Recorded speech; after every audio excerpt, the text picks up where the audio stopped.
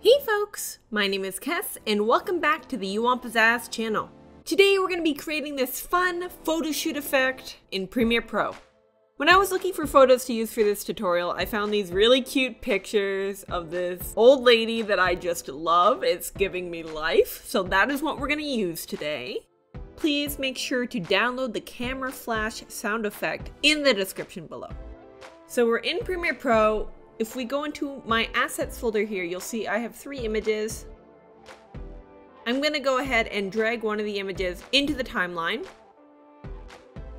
I'm going to right click, change the speed and duration to two seconds. I'm going to drag it up a layer.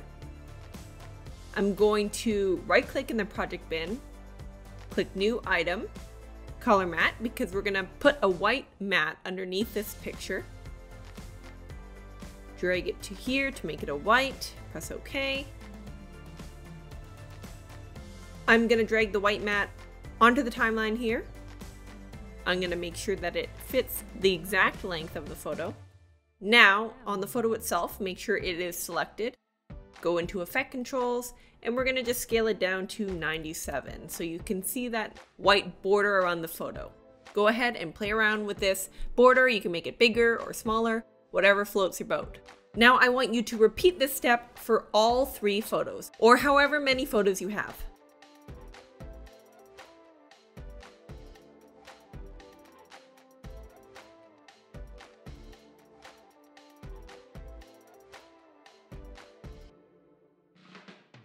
Okay, so we now have three sequences of different photos with the white border.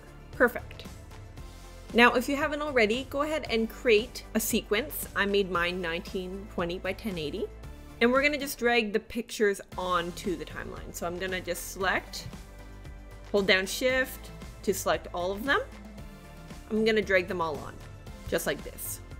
Just click keep existing settings, that's fine. Now I'm going to just adjust the size so that it fits the frame. So I can do that by highlighting these pictures, right clicking, and hitting scale to frame size. I'm going to delete the audio because it's just not needed. So we have three photos on the timeline. We're going to add some movement.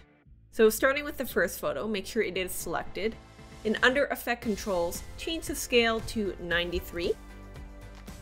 Set a keyframe change the rotation to 4, set a keyframe, move the playhead a little bit across, and we're going to set some more keyframes. We're going to change the scale to 95, and we're going to change the rotation to 3. And then we're going to drag these keyframes to the end. So let's take a look. So you can see it has that subtle movement here. Now moving on to the second one, we're going to do something very similar. Make sure that the second picture is selected. Change the scale to 93. Make a keyframe. We're going to go in opposite direction, so instead of 4, we're going to go negative 4. Make a keyframe. Move the playhead across. Change that to 95. Change that to negative 3. Drag these keyframes to the end. So you can see that goes the opposite direction. So for this last picture, I want pick 3 to be doing the exact same thing as pick 1, so I can actually copy these keyframes. So if I select pick 1, and I hit Command C, and then I select pick 3, right click, paste attributes, we want to make sure all of these are selected, and then we press OK. Then all the keyframes that were on pick 1 will be transferred to pick 3. Okay, this is what it looks like so far.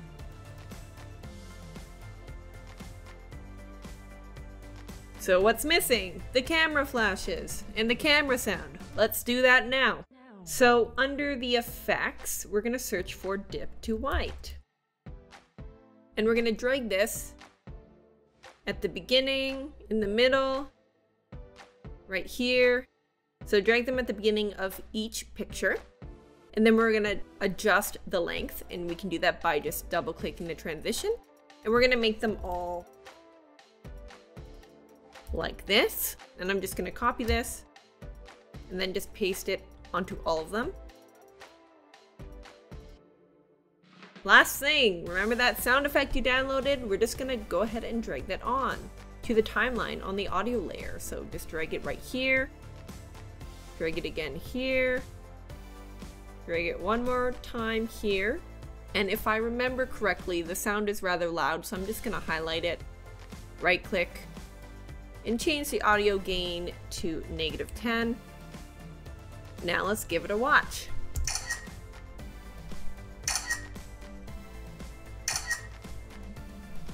I hope you enjoyed this tutorial and you found it helpful. If you did, please give this video a like and subscribe to the You Want Pizzazz channel for more videos. Have a great rest of your day, folks, and stay safe.